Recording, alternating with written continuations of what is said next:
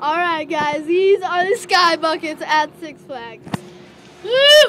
There's Woo! Goliath over there. There's Goliath, Daredevil. Daredevil, Wrong sky buckets. yeah, and there's, There's Arachnophobia, Looney- Oh, we lied. We said it was over there. That's Looney Tunesville. Bugs Bunnyville.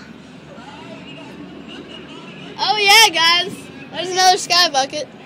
Hey. Woo. Hey. Yeah, Okay, you guys don't talk much, do you? there's Big Mo's, Like you dropped there's a tree. What type's Big Mo's? I want to go there. I don't, I don't know, why, why would I know what Big Mo's is? Come. Hey. Hey. Okay, you guys don't say hey either. The other people didn't either, so maybe they'll maybe they'll be this. Sky buckets. Oh my God, Taylor. Oh, this part looks scary.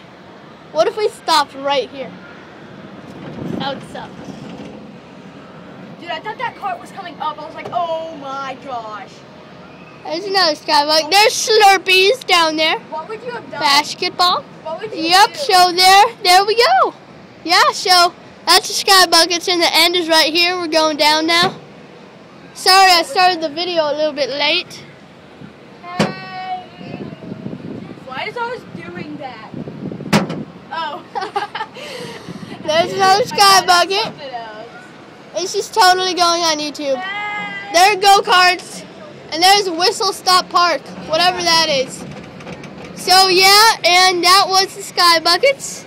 So yeah, and we're in the colonial town by um, the Thunder River, which is what we're going on next. So yeah, all right, see you guys.